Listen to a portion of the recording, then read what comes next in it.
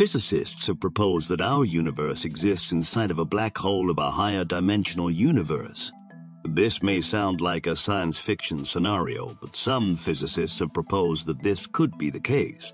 A black hole is a region of space where gravity is so strong that nothing can escape, not even light.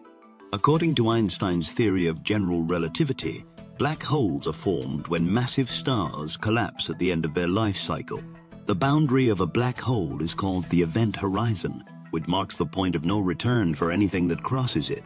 The size of the event horizon depends on the mass of the black hole. For example, a black hole with the mass of the Sun would have an event horizon of about 3 kilometers in radius. One way to approach this question is to ask, what happens inside a black hole? According to classical physics, nothing can survive inside a black hole.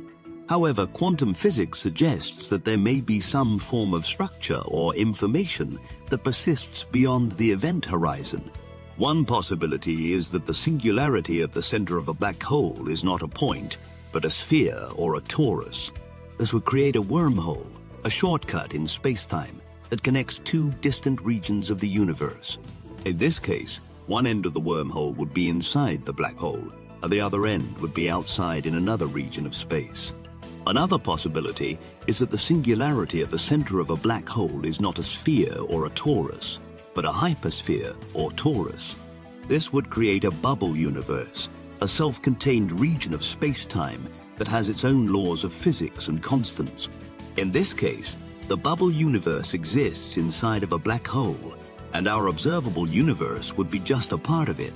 The idea that our universe exists inside of a black hole is speculative and has not been proven by any direct observation or experiment. However, there are some indirect clues that support this hypothesis.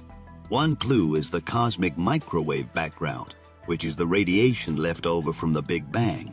Another clue is the expansion of the universe.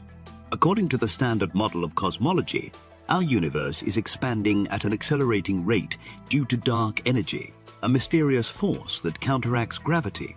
However, some physicists have proposed that dark energy could be an illusion caused by assuming that our universe is flat and infinite. If our universe is actually curved and finite, as it would be inside of a black hole, then dark energy would not be needed to explain the expansion.